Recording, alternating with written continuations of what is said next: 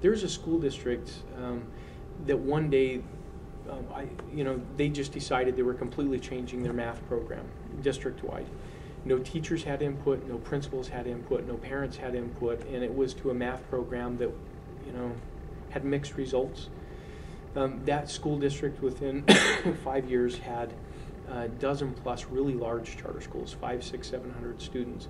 And what happened is after a number of years of that, the district finally got the clue and they're like, okay, we're no longer going to mandate a math curriculum.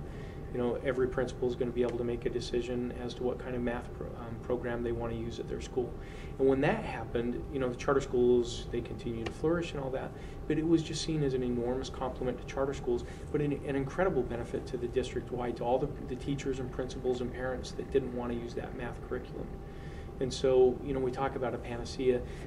That influence that it has on a district as they begin to make adjustments and how they have they've done this for decades, but now all of a sudden they're looking at it differently.